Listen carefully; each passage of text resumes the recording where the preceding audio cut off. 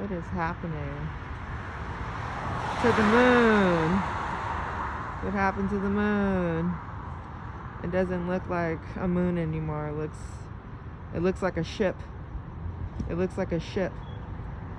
Okay, it looks like a ship.